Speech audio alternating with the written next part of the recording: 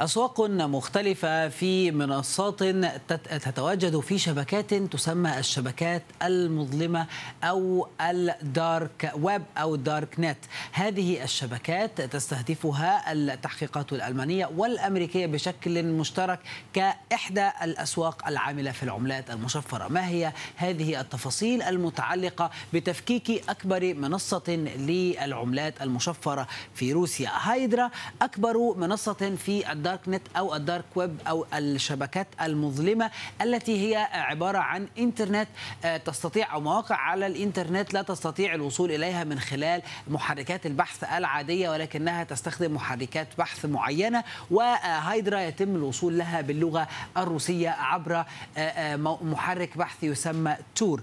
وهذه أو بعد التفكيك لهذه الشبكة تم التحفظ على 543 عملة بيتكوين. بيتكوين بقيمة 23 مليون يورو. وكانت هذه الشبكة أو هذا البيان المشترك ما بين المدعي العام في فرانكفورت والمكتب الفيدرالي للشرطة الجنائية بشأن هذه القضية. يتحدث عن أنك عن أنه كان هناك استخدام في أنشطة غير مشروعة للعملات المشفرة ولهايدرا بشكل عام. ما هي هذه المنصة التي وصفت بأكبر سوق غير قانونية في العالم؟ تم تداول ما يزيد على خمسة مليارات دولار منذ عام 2015 تأسيس هذه الشبكة تم تداول 5.2 مليار دولار.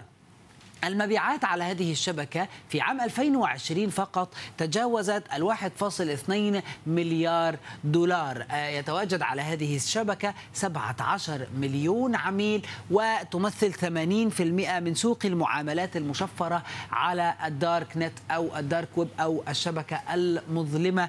ونشاهد أن هناك حملات متواصلة لتقييد الأسواق المظلمة غير القانونية. في 2020 Joker's Stash تم تقييدها وتفكيكها كونها متهمة بتداول بيانات بطاقات الدفع المسروقة والمزورة في 2021 أيضا إلغاء إغلاق داركر ماركت وهذه الشبكة كانت تحوي, تحوي 500 ألف مستخدم و2400 بائع. وتم إغلاق العديد من خدمات الشبكات المظلمة بشكل طوعي ما بين 2021 و2022 أخيرا فيما يتعلق بروسيا وأوكرانيا أكبر عملاء العملات المشفرة في العالم. روسيا ثالث أكبر دولة تعمل في تعدين العملات المشفرة في العالم تستحوذ أو العملاء أو العمليات تقدر بنحو خمسة مليارات دولار.